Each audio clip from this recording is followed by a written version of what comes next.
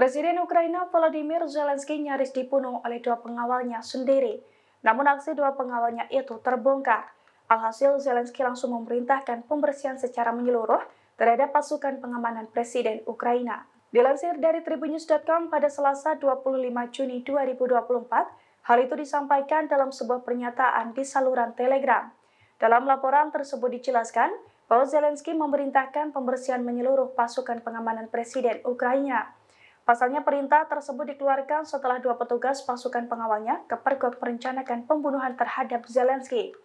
Zelensky sendiri memerintahkan pembersihan tersebut kepada Kepala Pasukan Badan Pengamanan Negara yang baru, Kolonel Oleksiy Morozov. Diketahui upaya pembunuhan Zelensky ini bukan pertama kalinya terjadi. Pada bulan lalu, Badan Keamanan Negara atau SBU juga mengaku telah menangkap dua kolonel dari Badan Keamanan. Mereka diduga bekerja sama dengan Rusia untuk membunuh Zelensky dan beberapa pejabat lainnya.